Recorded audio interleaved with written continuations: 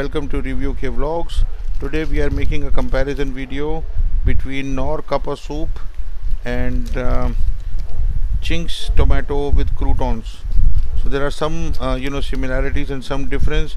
This is a 10 rupee pack. This is also a 10 rupee pack, and um, that weight is uh, 14 gram. The weight here is 16 gram their sugar is 4.4 gram of 16 gram.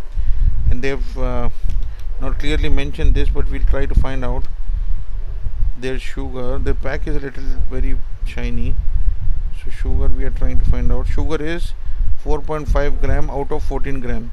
So somewhat similar sugar but it's a 2 gram difference there. And uh, it all depends on the taste what you're looking for.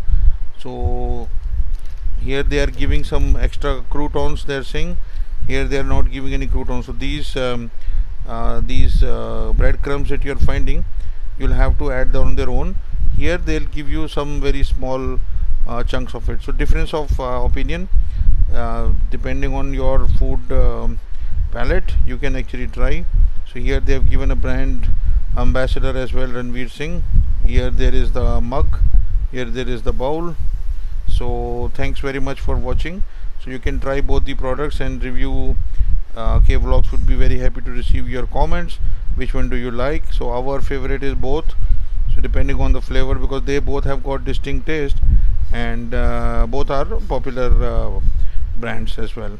So thank you very much for watching. And you can subscribe to our channel. In case you want more such videos we can help you do that as well. Thank you very much